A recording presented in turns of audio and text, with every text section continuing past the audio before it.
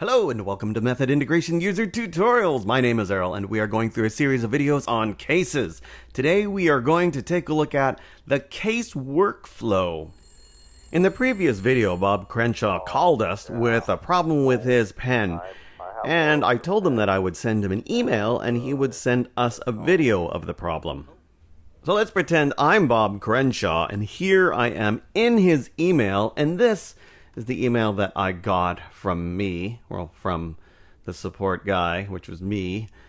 I have customer service case. We have the contact as Bob. We can see the subject Bob Crenshaw's pen is not working.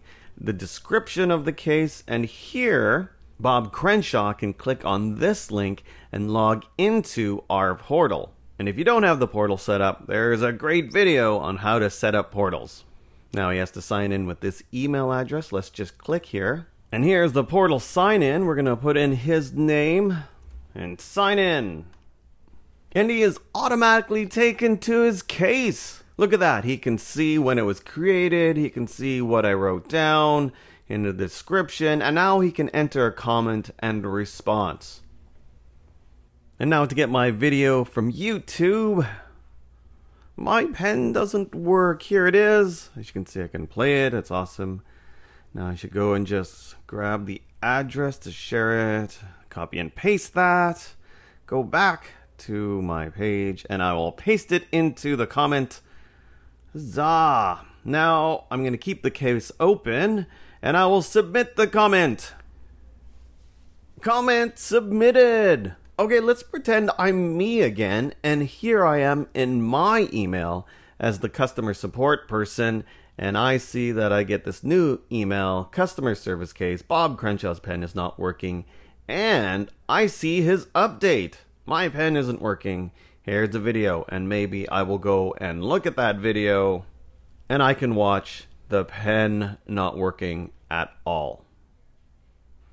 Hmm, conundrum.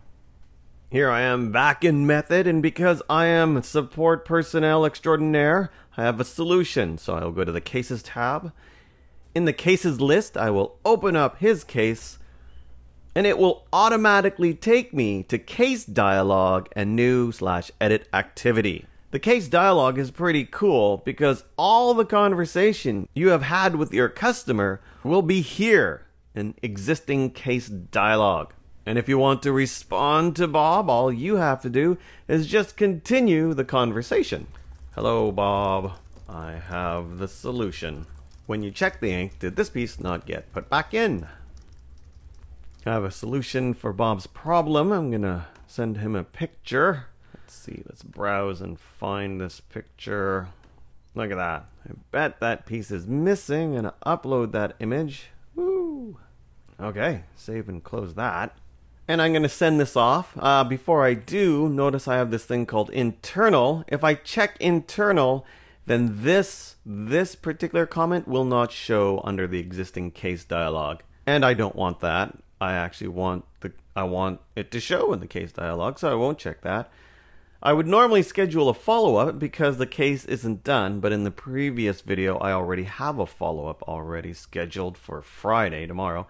So I will keep that there to keep myself as a reminder to get a hold of him if he doesn't get back to me. Then I'm going to save and back this. Save case activity and back. Make sure you also save the activity, else all this work that you put in will be gone. Save case activity and back. That's it. Our comment has been sent off and hopefully Bob Crenshaw will like our solution. Join us in the next video for the exciting conclusion to the mystery of the malfunctioning pen. If you have any questions, please leave them in the YouTube comments or you can tweet us at MethodCRM. I hope you have a great day and take care. Bye bye.